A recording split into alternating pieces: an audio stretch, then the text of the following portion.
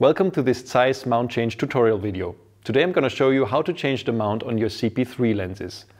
The same tutorial also applies to CP2 lenses, compact zooms and the LWZ3. So let's get started.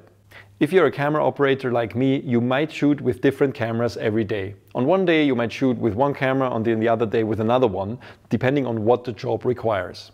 Or you might be given another camera by a colleague or a rental house, or you might actually upgrade your camera to a different brand, a different model in the future. Well, the problem is all of these cameras have different lens mounts. But if you have a Compact Prime 3, you actually are able to change the mount by yourself because these lenses have five different mounts available, which basically means that you're upgradable for eternity in the future because you can use them on all kinds of different cameras. So the investment that you made in these lenses is quite secure. And the changing of the mount is actually quite easy. Today I'm going to show you how. Now let's get started with the lens mount change. In this case on a CP3, we have an EF mount CP3 here and we want to change to a PL mount. For that we need the interchangeable mount set kit from Zeiss for PL mount and that contains the PL mount itself, uh, the screws that you need for it and the shims. The only other tool that you will need is a T6 Torx wrench with a torque of 0.4 Newton meters. We recommend that you get this tool from Zeiss because then you can be sure that it's the right one for your lenses and you don't risk damaging them. Last but not least, you will also need a back focus chart or so-called Siemens star to correctly adjust the back focus of your lenses after changing the mount. Now let's get this operation started. First, let's remove the rear lens cap. Then you can see the EF mount, which is attached to the lens with four Torx screws. Let's remove them. Now that all the four screws are loosened, you can simply lift off the mount and put it next to your lens. I would leave all the Torx screws inside the mount so you know where they belong. Now we can see that there's another little ring in here, which is the so-called spacer ring. Now the spacer ring is needed for EF mounts and also for E mounts. In case of the E mount, you can see that the spacer here is even much bigger. Now to take off that EF spacer, which we do not need for the PL mount, you need to untighten another 8 Torx screws.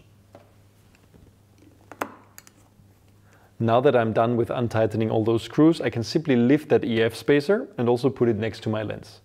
Now, there's one little thing to mention about those screws. The standard screw that is used in most of the CP3 lens mounts is an M2 8mm screw. There's only one exception.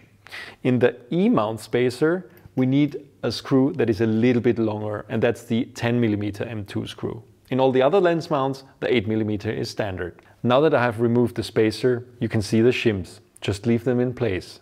Don't touch any of the other screws that you can see there. Now take the PL mount and align it correctly with the lens barrel. In order to do that, just check where the little groove is on the other side of the mount and align it with the little screw on the barrel. And turn it slowly until you hear a little click.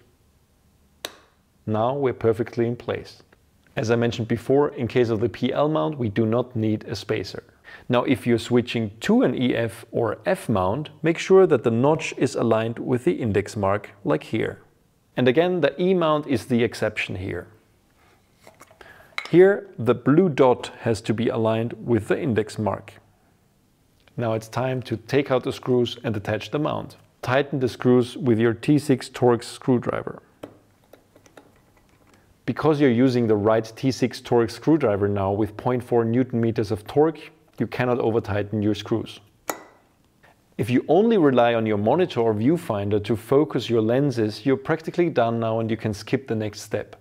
If you are relying on the focus markings on your lens though, you have to shim your lenses. Let me show you how that works. To get started with that, it's time to put that lens on a camera and see if the back focus is correct. Attach a back focus chart to a wall and choose the correct testing distance appropriate for the CP3 lens you're using. Please make sure you are pointed straight at the focusing chart. The correct testing distances for each CP3 lens are described in the Zeiss mount change instructions document. Open the aperture all the way on your lens and set the focus on the lens barrel to the distance you measured from the back focus chart on the wall. Then it's time to check on your camera if the test chart is fully in focus. If the chart is not perfectly in focus, don't touch the lens barrel. You should rather move the camera until the test chart is perfectly in focus. If the focus has changed to achieve perfect focus, you have to adjust the flange focal distance of your lens by using these colored shims. There is a table for each CP3 on the Zeiss website, which will tell you what shims to use for what distance. To add or change shims, first you have to take off the mount again. After you take off the mount, you might see some other shims that are already in there. Depending on the table, it will tell you what shims to use, so you might have to remove them or just add other ones. In this case, we're just gonna add one. So be really delicate with these shims, they're very thin. We carefully take it in my hand and then check where the openings are. I try to put it on top at the right position. There's only one way it usually fits.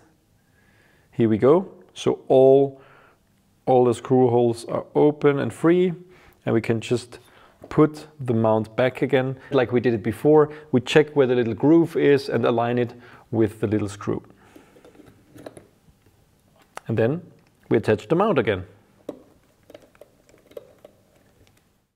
After you have reassembled your lens, put it back onto your camera and check the focus distance again.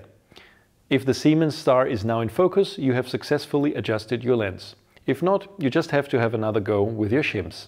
So as you could see, it's not hard to change the lens mount from one to the other on the Zeiss CP3. It's actually quite easy. And I'm not a Zeiss lens technician, I'm just a camera operator.